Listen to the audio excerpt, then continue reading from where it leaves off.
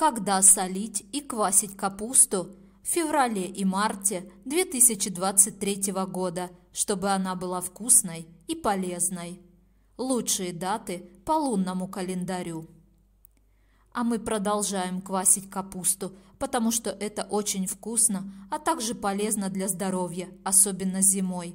К тому же заквасить капусту несложное дело. Главное найти хороший рецепт, приобрести сочный сорт капусты и выбрать лучший день по лунному календарю.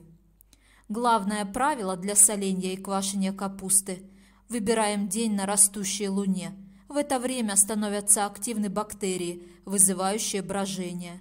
А в период убывающей Луны их активность наоборот снижается и брожение замедляется, поэтому капуста сильно размягчается и может стать водянистой и невкусной. Второе правило. Солим капусту, когда Луна находится в знаках Тельца, Козерога или Овна. Это самые лучшие знаки для заготовок капусты. Не рекомендуется квасить капусту на убывающей луне. Нельзя это делать в дни полнолуния, 5 февраля и 7 марта, а также в дни новолуния, 20 февраля и 21 марта.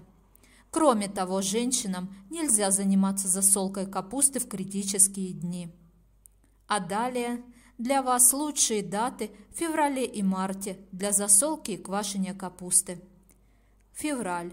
22-23 февраля – это растущая луна в Овне, отличные дни. 24, 25 и 26 февраля – это растущая луна в Тельце, также прекрасные дни для засолки и квашения капусты.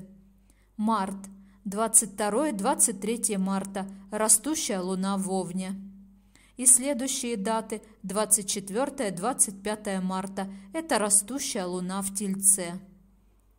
Таковы лучшие дни по лунному календарю для засолки и квашения капусты в феврале и марте 2023 года.